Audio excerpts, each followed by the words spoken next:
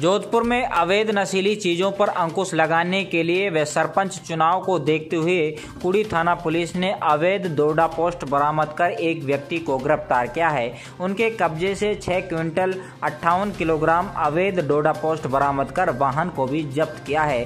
कुड़ी थानाधिकारी जुल्फिकार अली ने बताया कि पंचायती राज चुनाव को देखते हुए सख्त आदेश दे रखे हैं। इसी के तहत जोधपुर में कुड़ी थाना क्षेत्र में गुड़ा बिश्नोइया बालाजी मंदिर के पास निवासी नेमाराम पुत्र राम रामू के यहाँ पर गाय बांधने के जगह पर छुपा कर रखे छह क्विंटल अट्ठावन किलोग्राम अवैध डोडा पोस्ट बरामद कर नेमाराम को एनडीपीएस में गिरफ़्तार किया।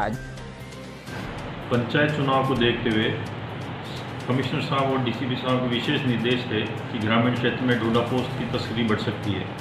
इसलिए विशेष निगरानी की जा रही थी। आज मुखबिर से इतला मिली।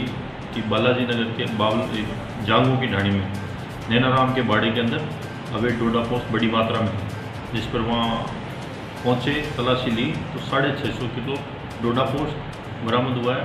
नैनाराम को गिरफ़्तार किया और जिस ट्रक से वो डोडा पोस्ट लेके आया था, उस ट्रक को भी जब्त किया है। मुकदमा दर्ज करके कार्रवाई की जा रही है।